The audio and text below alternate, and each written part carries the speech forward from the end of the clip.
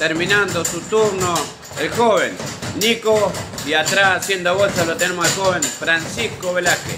Pego y me protejo, pego y me protejo Francisco.